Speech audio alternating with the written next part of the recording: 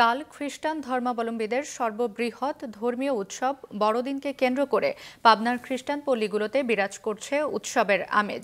বর্ণিল আলোকসজ্জায় সাজানো হয়েছে বাড়ি, উপাসনালয় ও ক্রিসমাস ট্রি। তৈরি হয়েছে গোশালা। শেষ মুহূর্তেও প্রস্তুতি নিয়ে ব্যস্ত সময় পার করছে খ্রিস্টান সম্প্রদায়ের মানুষেরা। এদিকে গতকাল রাতে পাবনার ব্যাপটিস্ট চার্চে নাচ গান সহ নানা আনুষ্ঠানিকতায় পালিত হয়েছে প্রাক বড়দিন উৎসব। পরে কেক কেটে দিনটি উদযাপন করা হয়।